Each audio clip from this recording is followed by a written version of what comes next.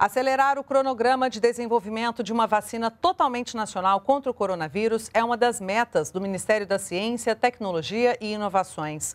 O ministro Marcos Pontes participou ontem de audiência na Comissão Temporária do Senado sobre a Covid-19.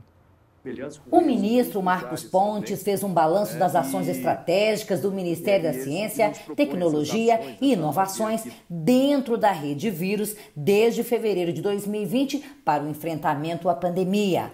Ele afirmou que a prioridade agora é acelerar o cronograma para a produção de vacinas contra a Covid-19 com tecnologia 100% nacional. Nós utilizamos, além da Fiocruz e da e do, do Butantan, né, que são os institutos mais conhecidos, públicos, né, nós temos os nossos INCTs, Institutos Nacionais de Ciência e Tecnologia, congregam pesquisadores de diversas instituições, inclusive do, da Fiocruz, do Butantan, e são essas INCTs que estão desenvolvendo essas vacinas nacionais, essas tecnologias de vacinas nacionais. O ministro Marcos Pontes defendeu ainda a necessidade de implantar no país um laboratório de biossegurança para garantir estudos e combate às mutações do vírus da Covid-19. Por isso, defendeu a captação de investimentos da iniciativa privada, oferecendo incentivos fiscais. Se eu fabrico esses insumos farmacêuticos em empresa privada, o que, que acontece?